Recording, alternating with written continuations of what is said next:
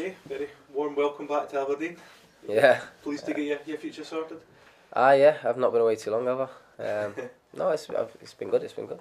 Um, was it a big? Well, obviously, it was a big decision for you to come back. You obviously got a young family down the road. What were your, your reasons for coming back to Aberdeen?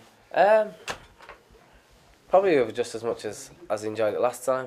I really enjoyed it. Uh, I like the manager and all that, and uh, um, it was a it was a bitter end to the season, you know, to lose that last game. But um, for me, it you know it was still a really really really good time at Aberdeen, and that was probably the reason why.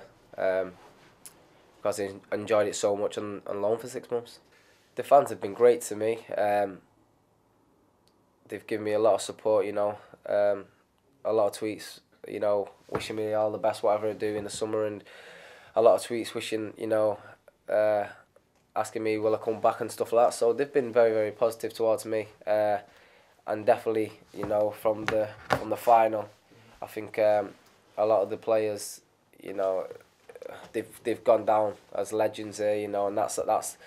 I've had people run up to me in, in you know in Aberdeen and say that, so it's it's very very flattering. And, uh, I just hopefully you know next season there's a lot more of that for the fans because that's why you play football. You know, it's it's them who play, they pay the hard earned money. You know, they go to work for nine hours a day, to come to watch the football on a Saturday. So. I think they have a right sometimes when they think that you're not trying hard enough, or you know, um, but I definitely think uh, next season there'll be a lot more highs for them to to to applause.